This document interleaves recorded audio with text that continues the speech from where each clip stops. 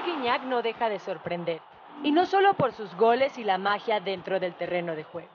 Esta semana acaparó reflectores por su nuevo look.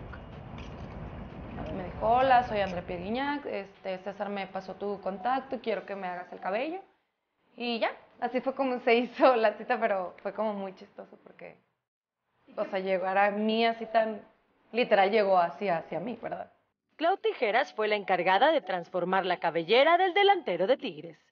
Para mí fue así como, wow, fue sorpresa, fue obviamente nervios, mariposas de tipo, ¿qué le voy a hacer y cómo va a ser? Porque yo no nunca había conocido en persona. La palabra que lo define, para mí es sencillez. O sea, no puedes imaginar que todo lo que hay detrás de él, todo el trasfondo de, de su historia, de su éxito como jugador, de el contrato que tiene, o sea, al momento de tener contacto con él es increíble. Súper caballeroso, súper educado.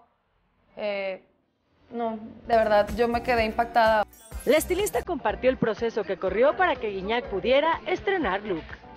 Fueron como tres horas más o menos lo que nos llevamos de tiempo. Realmente fue poco comparado a lo que me he tardado en este tipo de trabajos, porque es un trabajo muy, muy largo, o sea, por la decoloración que tiene que estar muy clara, etc. Se vio obviamente primero sin la decoloración y y nada más como que se quedaba viendo, ¿no? Porque es un cambio muy radical, o sea, no fue... Y aparte era la primera vez que él se hacía algo, nunca se había hecho nada, entonces sí fue medio choqueante, pero, o sea, se vio y le gustó.